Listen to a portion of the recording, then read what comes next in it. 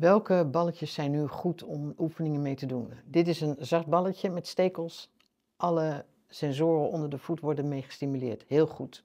Mensen nemen dan een hondenballetje en dan zeggen ze een raar advies heb je gegeven, want het doet heel veel pijn. Inderdaad, een hondenbal is absoluut niet geschikt. Dus weg ermee. Dan kan je een tennisbal gebruiken. Dat kan.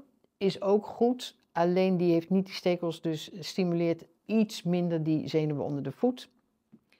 Ehm, dan kan je voor echt, als je een klein gebied wil uh, stimuleren, kan je een golfballetje nemen. Maar voor veel mensen is dat wel heel erg pijnlijk. Dus een squashballetje of zo'n eenvoudig balletje is ook goed.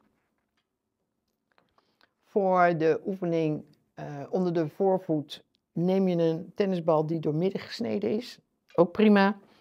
En um, een uh, yogaballetje is ook natuurlijk heel goed vergelijkbaar met een tennisbal. Prima. En uh, nee, deze is natuurlijk heel erg leuk. Die glimlacht altijd, dus die kan je altijd gebruiken voor kleine oppervlakte.